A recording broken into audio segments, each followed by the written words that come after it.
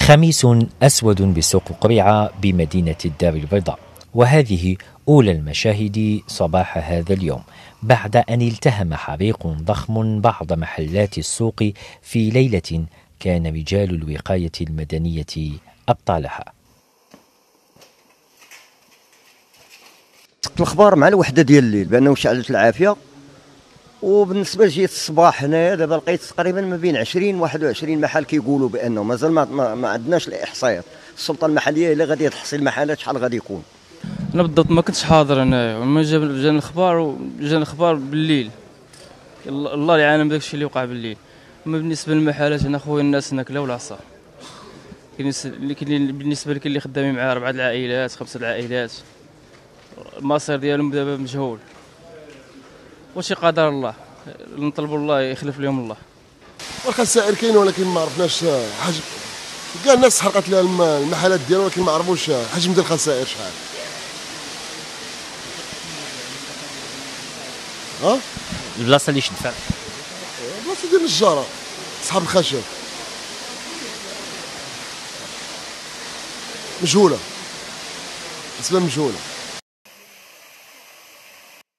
الحريق التهم جزءا كبيرا من محلات النجارة بالسوق.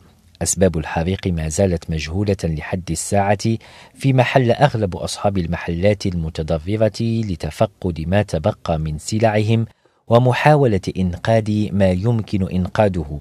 مشاهد الحسرة والحيرة بادية على أغلبهم بعد هذه الكارثة وتساؤلات حول مصيرهم ومصير العاملين معهم وكيف سيتقبل الزبائن أصحاب الطلبيات هذا الوضع.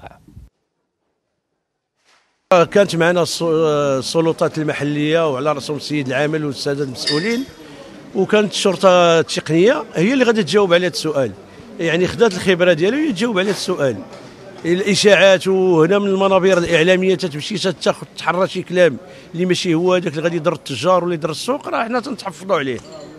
يعني شي حاجة اللي تكون منطقية. يعني تقريبا شحال العدد ديال المحلات اللي تخاص؟ تقريبا الإحصاءات الأولية مازال ما بان. دابا الله خرجوا للتيران داك الشيء.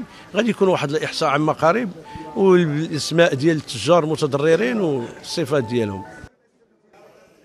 السلطات المحلية حاضرة في عين المكان ورجال الوقاية المدنية يواصلون إخماد ما تبقى من الحريق وتحقيق فتح لمعرفة أسباب الحريق.